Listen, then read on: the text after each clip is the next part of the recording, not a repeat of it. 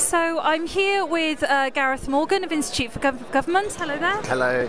And can you just tell us a bit about what it is you do exactly? Uh, well, I'm uh, Director of Finance and Operations at the Institute for Government, which is a small uh, independent think tank.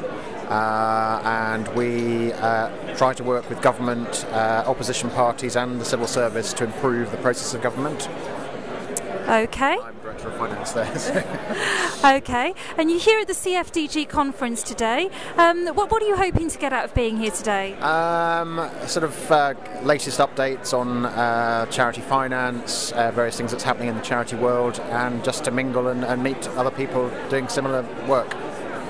And what sessions have you see have you seen this morning? Did you go to the plenary session? Opening plenary, uh, and I've just been to the session on mergers, and I'm about to go to the finance update. Okay.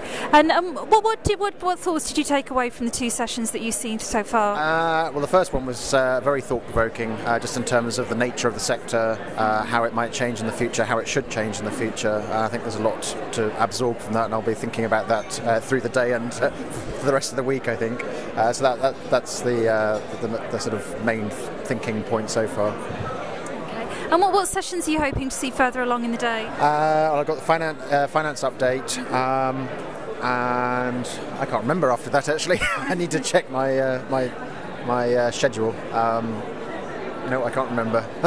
But it, it sounds like you're here as much for an opportunity to network as it is for the knowledge I mean, you can get from the one day. of the great things about the CFDG is, is the opportunity to meet other people, to share ideas and experiences. I think that's that's a great thing. Okay, thank you very much. Enjoy the day. Cheers. It's